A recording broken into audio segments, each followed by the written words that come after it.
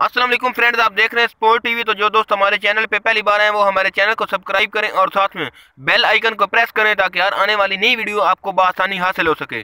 دوستو، اس ویڈیو میں میں آپ کو بتاؤں گا کہ پی ایس ایل فائیو میں ٹی ٹوینٹی کے وہ نامور کھلاڑی جنہیں کسی ٹیم نے منتخب نہیں کیا۔ پاکستان ٹیسٹ کرکٹ ٹیم کے کپتان اظہر علی کا نام گولڈ کیٹیگری میں موجود تو تھا، لیکن کسی بھی ٹیم نے انہیں خریدنے کی زحمت گوارا نہ کی۔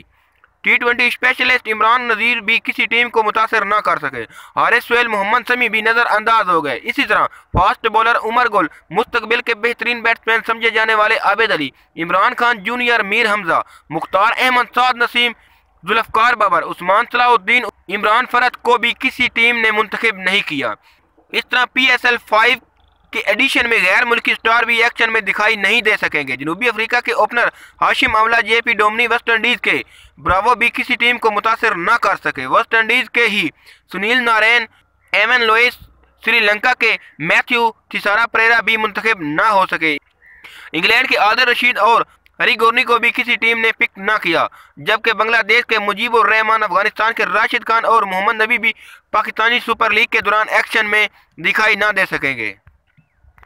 تو دوسری طرف فرینڈز میں آپ کو بتاتا چلوں کہ بنگلہ دیش کرکٹ بورڈ دورہ پاکستان کے حوالے سے مسلسل ٹال مٹول کر رہا ہے اور ایک مرتبہ پھر حتمی فیصلے کے لیے ایک ہفتے کا وقت مانگ لیا گیا ہے۔ ایسے میں بی بی ایل میں شریک قومی کرکٹر بھی بنگلہ دیش کرکٹر کو بیجا خوف کی حراست سے نکالنے کی کوشش میں مصروف ہیں۔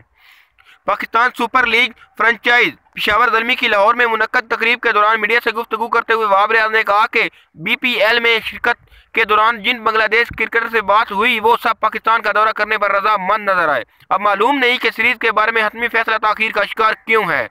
بی سی بی کی جانب سے یہ موقع بھی اپنایا جا رہا ہے کہ بہت سے کھلاڑی طویل دورے پاکستان پر تیار نہیں ہے اس پر ٹی ٹوینٹی ٹیسٹ کرکٹ سے ریٹائرمنٹ لینے والے مشرفی مرتضی کا کہنا ہے کہ اگر وہ اسکواڈ کا حصہ ہوتے تو پاکستان ضرور جاتے۔ تو فرینڈز آج کی ویڈیو کے لیے اتنا ہی۔ اگر ہو سکے تو ویڈیو کو لائک اور شیئر ضرور کیجیے گا۔ تو ملتے ہیں ایک نئی ویڈیو میں۔ تب تک اللہ حافظ۔